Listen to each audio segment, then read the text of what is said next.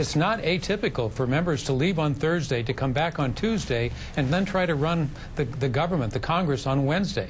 That's not an exaggeration in many cases. So what mm-hmm. the leaders are attempting to do, or at least the majority leader, is, is to put as much emphasis on that little time that there is in Washington, and that requires consolidation. I don't, I don't think it's justifiable. I think we ought to go mm-hmm. back, as Trent has just described, but, but clearly that's a big part of the problem. We're not spending the kind of time in Washington we have to to get the job done today.